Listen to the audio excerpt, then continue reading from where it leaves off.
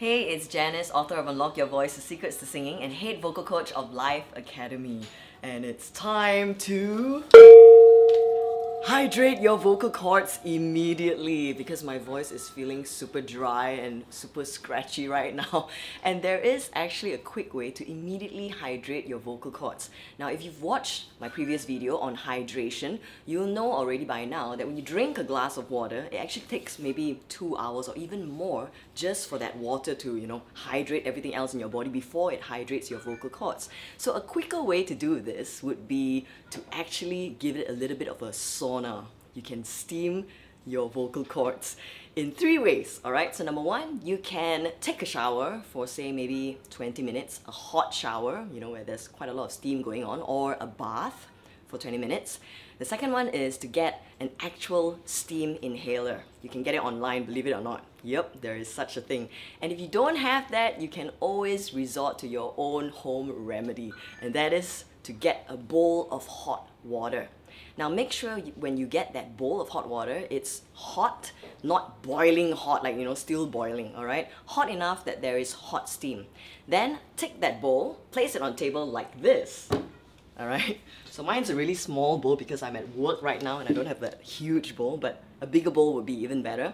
And then grab a towel, but again, I'm at work right now, so I don't have a towel, so I'm using this scarf, okay? So you want to wrap that towel around your head like that, okay? And make sure there's like a, you know, everything is closed up like this. And then just go around that bowl like that, alright? And then cover up from here on. And then breathe in and out through your nose.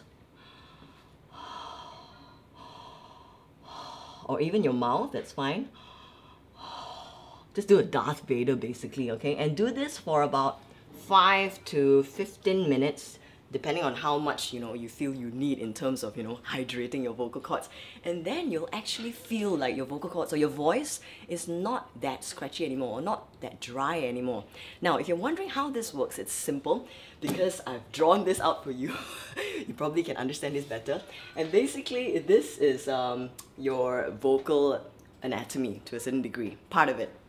When we swallow anything whether it's food or water it goes from here in our mouths into this channel here.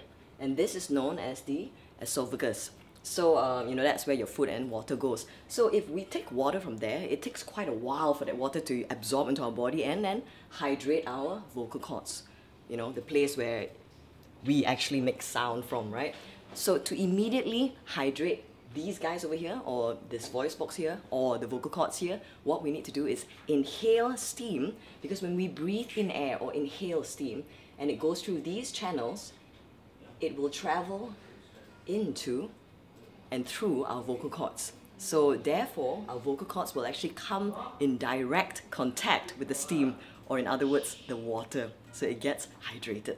Alright, so give it a shot. Now do know that um, you can get dehydrated, your vocal cords can get dehydrated for all sorts of reasons. It could be, you know, you're too tired or you've been abusing it a lot or you haven't been drinking enough water, but bad vocal technique can also result in that. So practice good vocal technique, especially even in, you know, your day-to-day -day speaking and public speaking.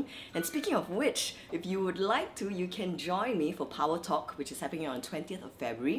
It's a masterclass session on public speaking, where I will be sharing with you what healthy vocal techniques you can practice in your day to day and public speaking.